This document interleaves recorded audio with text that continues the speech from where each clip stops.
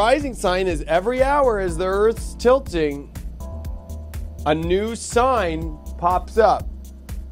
And that's the new rising, okay? Next thing that we pay attention to in a chart is the top of the chart.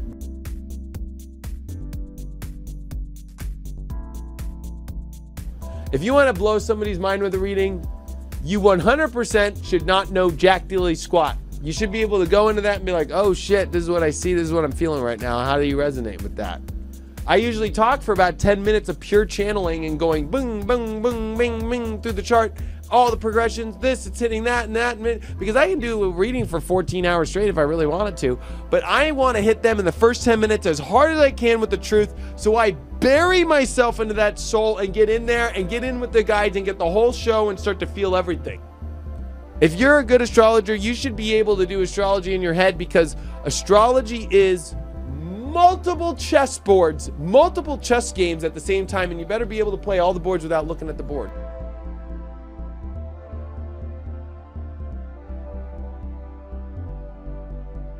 After infancy and puberty, the adolescent is faced with a mind challenging choice. What type of life path to follow? After hesitating for a while, they must finally decide between two possible paths. Not where the client wants to go, not where the world wants to go, but where God is showing it happening. Period. Like I want I want to talk about my sun and Leo. I love my sun and Leo, but it's not about my sun in Leo right now.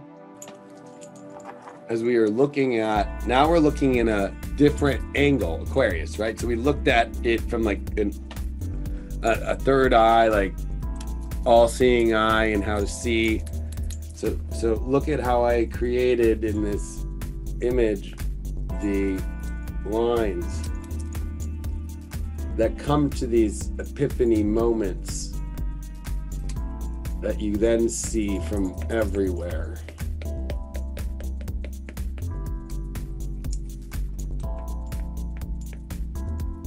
So imagine this area down here, but back it all the way up, right? Back it all the way up to this is the age of Aquarius line here. And if I could put it right here, right? Like, you know, behind it would be the age of Pisces. And this is the cross bridge over.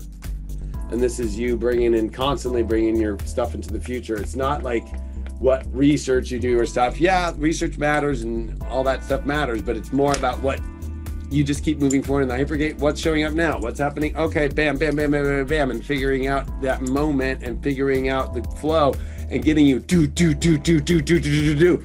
And that's what bang. It's just, just uh, and it gives you an answer. Bam. So when I make a prediction, it's that. Do, do, do, do, do, do, do, do, do that, that, this, that, boom, boom, boom, boom, boom. Last time that, oh, well, lower retrograde last year, Mercury. Oh, Mercury, oh, well, what happened last time Mercury crossed over? Oh, yeah, I went from like, there's, don't worry about mass, don't worry, these are a little, oh, there's, oh, now, oh, wow, there's 10 people on the boat that fucking have coronavirus. Oh, wow, this country's getting it. Oh, we're waiting for confirmation from the CDC. Now they're making this sound like it's some serious shit. It was a spell.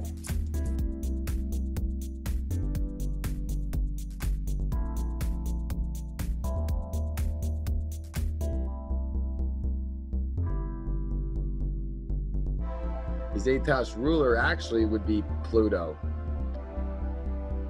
which has no aspects from her at all. So it's missing that eighth house. Okay. Remember, I showed you we have a fifth, we have a seventh, we have an eighth, and we have the two boxes, we have the center. His eighth house ruler, Pluto, has no aspects to it. No planets of hers are in this zone. Mars and Capricorn's like, I'm to give myself the authority to do it. I'm not to wait on questions like Mars and Libra. Mars and Libra is like, well, should I do it or not? Hello, Mars and Libra. Mars and Capricorn's like, um, why are you even talking right now? Like, you already should have made the fucking decision. Hang up. You know what I mean? Because Mars is like, fucking got the authority from Saturn. Here's your orders. Go do it.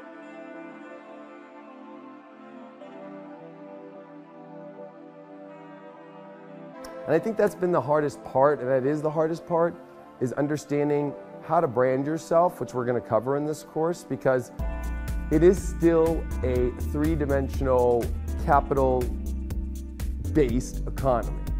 right?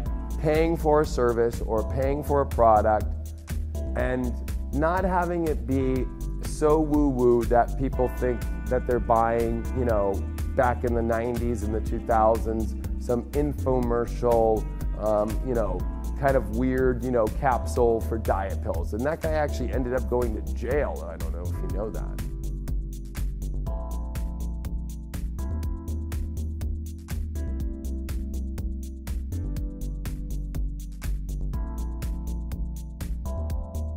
Pluto Librans are the ones that are about justice first, right? That's what it's about justice. Relationships, we know. How we relate, though. It's also about peace. Well, you can't have peace without war. Opposite is Aries. There is no utopia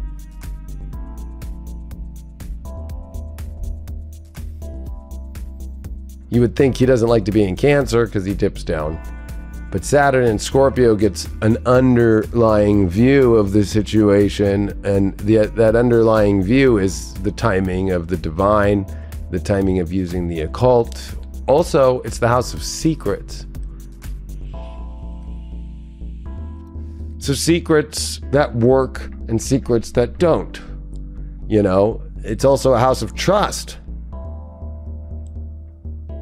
So every Saturn Scorpio or Saturn 8th house person has to learn how to master trust. You won't receive shit if you have walls up. So the number one issue with Saturn Scorpio or Saturn 8th house people is walls. You can't have walls up to use the occult like a belief system about Christianity. You have to go past that boundary. You want to have an amazing, deep relationship? Well, you have to have sex. You can't put up a wall. You want to express yourself fully and actually have people think that you're impactful and trust you, then you have to be vulnerable and real. You can't be in the shadow. So I see in 99% of Saturn Scorpio or Saturn 8th house life, they lived a shadow life in the present reality that they were born in the incarnation. They had to overcome that and use that transformative energy to bring it to the light.